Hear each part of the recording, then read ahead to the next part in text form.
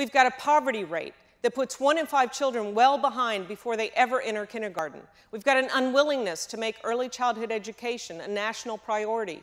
And we've got a failure to act on the adage that you get what you pay for when it comes to teachers. Privatization can't fix these things.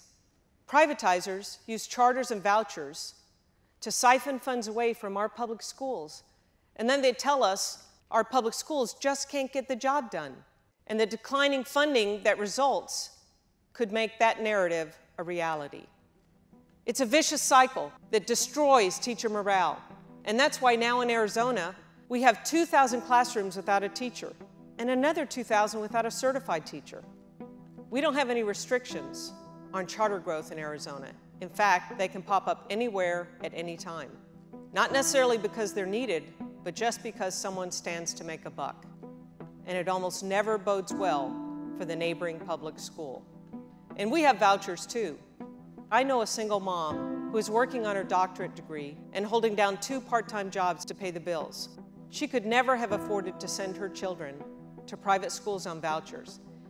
The notion that business provides better for the common good than government just is not true. I serve as a school board member, and I believe it is one of the most fundamental exercises of our right to self-governance. Believe me when I tell you that privatization is as much about limiting the power of the average citizen as it is about increasing profits. If you don't like what's happening in your public school, voice your concerns. Elect different school board members, or better yet, run for the school board yourself. When we blame government for its dysfunction, we're blaming ourselves.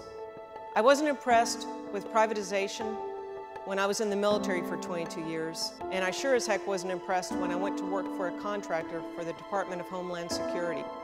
Businesses, whether it's defense contractors or charter management companies or ed tech enterprises, aren't responsible to the children or the troops. They're responsible ultimately to their shareholders.